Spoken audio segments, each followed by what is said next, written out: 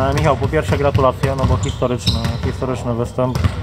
E, dotarcie do półfinału Pucharu Polski to, to, to największy sukces w historii, e, w historii klubu.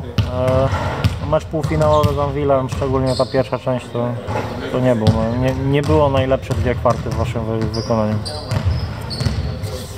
Tak, dziękuję bardzo za gratulacje. Na pewno sam udział w tym pucharze, którego awansowaliśmy z czwartej lokaty po znakomitej pierwszej rundzie jest na pewno dużym sukcesem, szczególnie dla, dla klubu, zawodników, a jak również y, dla nas trenerów. E, oczywiście jadąc tam e, chcieliśmy się pokazać z dobrej strony. Już pierwszy mecz pokazał, że e, wygrana z Anwilem nie była przypadkiem i, i również y, ten mecz z w większości czasu mieliśmy pod kontrolą. Oczywiście mieliśmy słabsze momenty, ale wciąż to my byliśmy stroną dominującą. Wiadomo, dzień y, po dniu drużyna, którym, w której rotacja nie jest rozłożona na 10 równych zawodników, e, musi odbijać się e, słabszą postawą w dniu e, kolejnym. Natomiast wciąż nie zagraliśmy swojej koszykówki w meczu z Anwilem, natomiast pamiętajmy, że ten Anwil zagrał w finale dosyć wyrównane spotkanie ze Stelmetem i, i są to drużyny z przysłowiowej innej bajki i tutaj samo nawiązanie walki w Krośnie z nimi było naprawdę dużym wy, wyczynem ponieważ my do takiego meczu musimy wyjść 100% skoncentrowani i świeżi i musimy zagrać na 150% swoich możliwości, liczyć na słabszy dzień e, przeciwnika, e, ponieważ są to drużyny ze ścisłej, ścisłej czołówki. E, Anvil będzie drużyną, która będzie walczył, walczyła medale, na moim skromnym zdaniem jeżeli nie trafi wcześniej na Stelmet, to będzie w finale, więc poprawili błędy z meczu z Krosna i obnażyli wszystkie nasze słabości, natomiast wiadomo, mieliśmy słabszy dzień, szczególnie w ataku. Vanville do przerwy rzucił tylko 33 punkty, więc nie jest to najgorszy wynik w obronie w naszym wykonaniu. Natomiast w ataku byliśmy kompletnie zablokowani. Natomiast Anvil umiejętnie zabierał wszystkie nasze zagrywki, umiejętnie zabierał wszystkie nasze mocne strony. Natomiast wiadomo, Kuba Dłuski zagrał na swoją odpowiedzialność z kontuzją pleców. Royce Woolidge miał skręcony nadgarstek.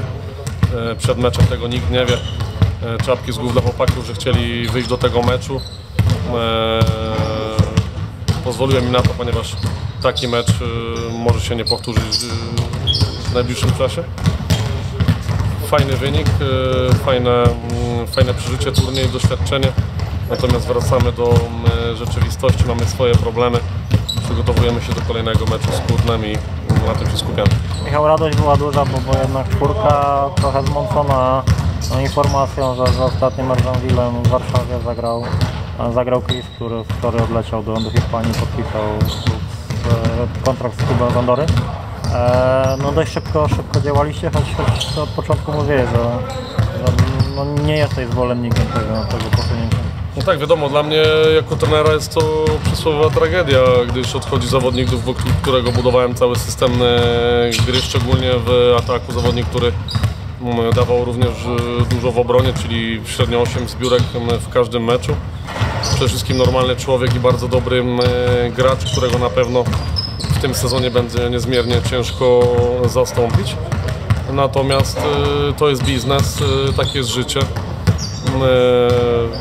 Odszedł z klubu, e, wiadomo, byłem przeciwnikiem tej decyzji, natomiast na dzień dzisiejszy jestem z nią pogodzony i skupiam się tylko na pracy i na możliwościach tego zespołu w dalszej części sezonu. Na pewno nie jest to łatwe, e, ponieważ e, duże zamieszanie wywołane tą sytuacją wpływa również na chłopców. Do tego mamy kontuzję w zespole, natomiast tak jak powiedziałem, nie są to rzeczy nadzwyczajne. Dzieją się takie rzeczy w innych klubach. Kontuzje również są wpisane w ten sport, więc będziemy sobie z tymi problemami normalnie radzić. Jesteśmy bardzo blisko E, utrzymania, natomiast wciąż naszą ambicją jest włączenie się do gry o playoffy. Na to liczę, na tym się będziemy skupiać. Mam bardzo ambitną drużynę charakternych zawodników i myślę, że e, żaden przeciwnik nie będzie miał z nami łatwo, natomiast wiadomo jakie mecze nadchodzą. W środę na dużym zmęczeniu po turnieju mamy mecz z Kutnem, później wyjazd do Turowa, Stelmet u siebie na wyjeździe Ostrów. Ostrów i e, kolejny mecz wyjazdowy to Toruń, więc sama czołówka e, ligowa. Natomiast tym bardziej będziemy mieć e, trochę czasu na wdrożenie nowego zawodnika w system i przygotowanie się do meczu, które są w naszym zasięgu, które będą przychodzić wkrocznie.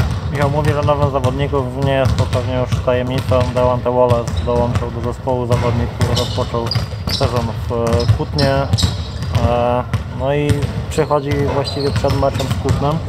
E, W prasie mówiło się o tym, że jest umowa między klubami, że, że nie wystąpił on e, w środowym Tak, meczu. jest umowa dżentelmeńska między trenerami, na piśmie tego nie ma, więc na pewno ten zawodnik w tym meczu nie wystąpi, natomiast nawet jeżeli byłby zgłoszony do rozgrywek, a jeszcze nie jest, ponieważ godzinę temu podpisał oficjalnie umowę z klubem jest już naszym graczem, z czego się niezmiernie cieszę, nie wystąpiłby w tym meczu, ponieważ e, dosłownie nie zna ani jednej naszej zagrywki, nie zna e, naszego systemu w ataku i w obronie, więc e, występ tego zawodnika byłby niemożliwy.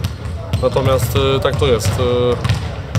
Jeden zawodnik odchodzi, jeden przychodzi, inni dostają szansę, więc liczę na to, że pokażemy, że również bez Krisa Czarapowicza stanowimy monolit i zespołowością e, będziemy w stanie e, odnieść zwycięstwo. No wiadomo, jedyny, jedyny mankament to e, kontuzja. E, Michał, obserwowałeś wcześniej Delante Wallace'a, czy, czy to była taka no, trochę decyzja, no, podchodzi Chris, trzeba było szybko, szybko znaleźć jakiegoś zastępcę?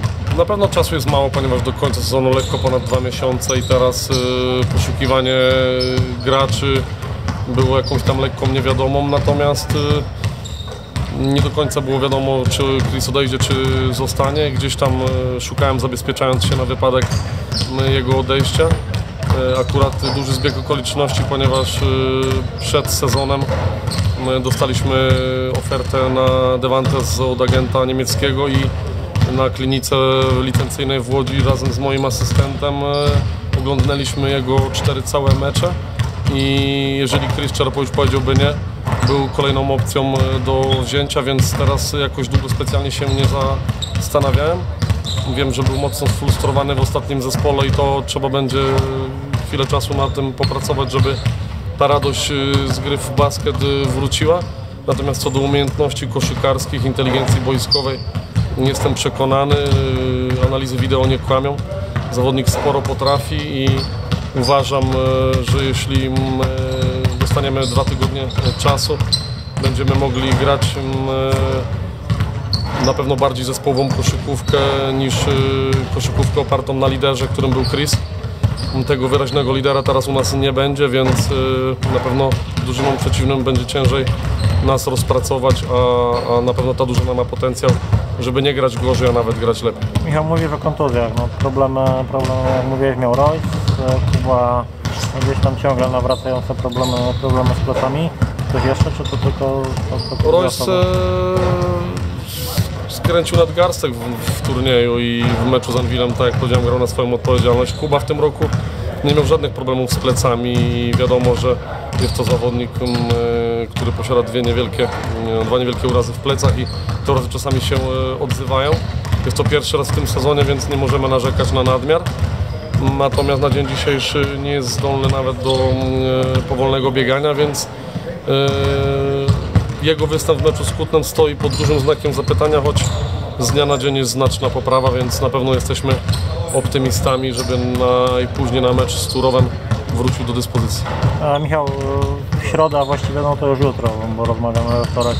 E, mecz z Kutnem, mecz, który w pierwszej rundzie udało się Wam wygrać, choć emocje były, były do końca, mimo że kontrolowaliście, kontrolowaliście mecz. E, no, Kutno mocno pobijane, bez Dardana Beriszy, no już bez mm, Dante Wallace'a, e, ale zespół, który pewnie, pewnie będzie, będzie walczył wcześniej.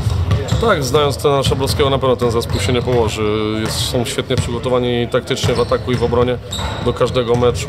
Bardzo dobry scouting, do bardzo dobrą pracę wykonują. No więc y, pamiętajmy, że grają o utrzymanie, więc każdy mecz y, będą walczyć na ostrzu noża i na pewno rzucą wszystkie siły, żeby tutaj y, powalczyć, co pokazał już ostatni mecz y, w Koszalinie, gdzie zdecydowanie wygrali. Nastawiamy się na bardzo ciężki pojedynek w obliczu wszystkich wszelkich zawirowań i naszych y, problemów, natomiast y, tak jak powiedziałem, jesteśmy bardzo charakterną drużyną i na pewno będziemy od pierwszej minuty starać się narzucić swój styl gry. Mamy plan na mecz, jeżeli będziemy go konsekwentnie realizować, to końcowy wynik mimo wszystko jestem spokojny. Jutro, środa, Zapraszam. 18, zapraszamy.